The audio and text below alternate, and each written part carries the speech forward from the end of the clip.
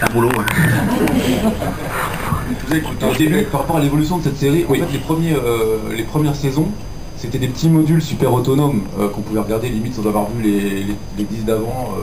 euh. Au fur et à mesure, ça devient de plus en plus feuilletonnant. Est-ce que ça, ça s'est imposé de soi-même ou c'était déjà calculé à l'avance depuis longtemps? Comme je vous dis, le système, si vous voulez, c'est d'avoir... J'ai un peu cambriolé mon format. Je suis rentré en disant, oui, oui, non, mais d'accord, les gars. Du 3.30, euh, d'accord, ça se suit pas. ok, euh. Puis après, euh, bah si, ça se suit un peu maintenant.